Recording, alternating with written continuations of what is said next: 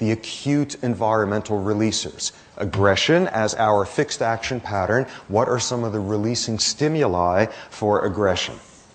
Some of the most reliable ones are ones that always, always demand you to interview an animal in its own language across different species, just as with sexual behavior releasing stimuli. Some species become aggressive in response to smells, to sounds, to sights, to you know, our whole array with this. Here's one version. Here's a species of ant that gets aggressive in response to vibration. And these are ants living in East Africa that have a symbiotic relationship with trees there, acacia trees. And what happens is the acacia trees grow these little sort of igloo, bubbly spheroid things on their branches, which have holes in them and which provide perfect living environments for the ants. So acacia trees are giving ants a home, and what the ants do in return is they protect the acacia tree from herbivores. Herbivores eating their leaves. What happens? Along comes a giraffe and begins to chew, and it breaks a branch, and the vibration causes all of these ants to come pouring out and bite the giraffe's lips at which point the giraffe goes to a different tree.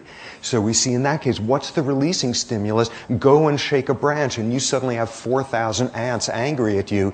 All these deals again and again, interviewing an animal in its own language. So, what are some of the reliable releasing stimuli in humans? Same theme as with the sexual behavior. We don't have any auditory stimuli that automatically trigger aggression. We don't have any olfactory ones. We don't have any. We've got some subliminal ones Remember that study mentioned a few weeks back take sweat from someone who is frightened as opposed to the same amount of sweat from someone who's been happily exercising. That was that deal of swabbing the armpits of people jumping out of airplanes. Take sweat from someone who is frightened and subliminal exposure to it, the amygdala activates. So we're not completely free of sensory stuff, but we're not triggered in any sort of way that's as dramatic as in other species. So what sort of sensory, multi-sensory, multimodal sort of things trigger aggression? Number one, most reliable one one is pain. Make an organism feel pained, and you have greatly increased its likelihood of turning around and biting the closest thing to it. So, pain as a trigger for it. Frustration as a trigger. Take a rat, train it to press a lever. 10 times it gets its food 10 times it gets its food 10 times it doesn't get its food 10 times you're not giving it its food. Get the rat good and frustrated and with great reliability if there's another rat sitting there it's going to spin around and bite it.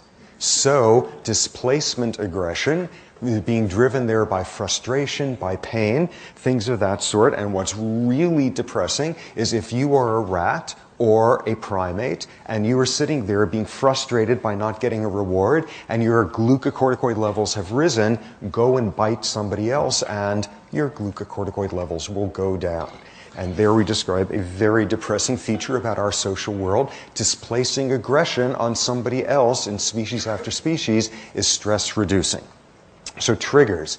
Triggers for that. Great example of this and a remarkable one back to that business from a couple of weeks ago, that alternative mating strategy of orangutan males.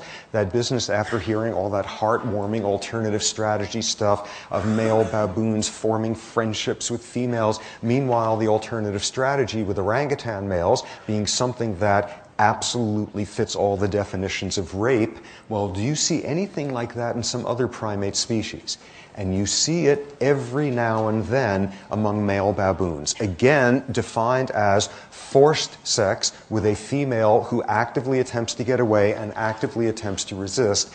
What you see under that sort of definition is every now and then it will happen in baboons. What is the circumstance? I've seen it three times over the years. Other people have seen it occasionally as well. It's always the exact same circumstance. It is the number one male on the day or the day after that he has just been dumped out of his alpha position. And most of the time, the animal goes and mopes somewhere else. Most of the time, the animal mopes and then finds somebody smaller to beat up on. The only times I've seen this over all these years, that was exactly the circumstance. Frustration, aggression, displacement, very, very familiar. When we get to some more environmental factors, later on some of the big ones, what we will deal with in this context is the relationship between why is it that when the economy gets bad, violence goes up? Why does poverty breed violence? And this is consistently the case. Why is that occurring? Some framing theoretically within the context of frustration and pain and stress are really reliable predictors of aggressive behavior. But again, it's the same theme as with alcohol. Pain makes organisms that are already predisposed towards being aggressive more aggressive. It does not do so uniformly across the board. Frustration, the same exact thing. Once again, we have something modulating, amplifying, blunting, damping, all this sort of theme again and again, some other factor there. Another example of this, another environmental trigger, and study the subject somewhere in the 1950s or so, and the top thing that you would get on the list in terms of environmental releasers for aggression would be overcrowding.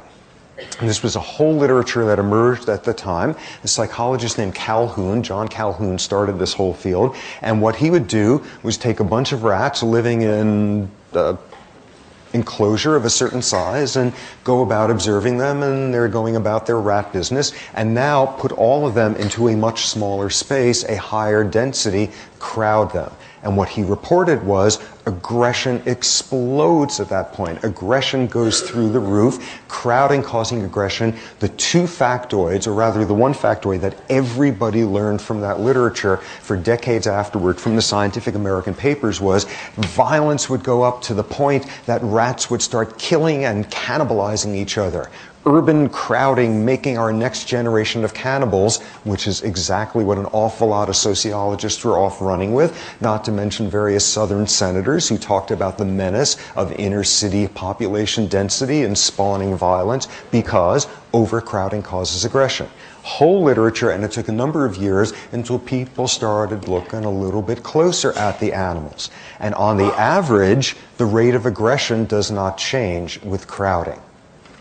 You could probably fill in the next sentence by now. What you see instead is animals that are already aggressive become more aggressive when you crowd them. Animals that are subordinate and unaggressive become even more weak and withdrawn. What these early generations of studies were doing wrong was folks sitting there just looking for the exciting stuff oh my God, we just saw a rat cannibalize another one. I sure never saw that with a big enclosure. The actual quantitative rates of aggression do not go up with crowding. Aggressive individuals become more aggressive then. And we readily can fit that into scenarios of frustration, displacement, that kind of thing.